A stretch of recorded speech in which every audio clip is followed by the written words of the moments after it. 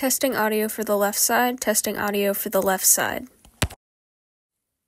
Testing audio for the right side, testing audio for the right side.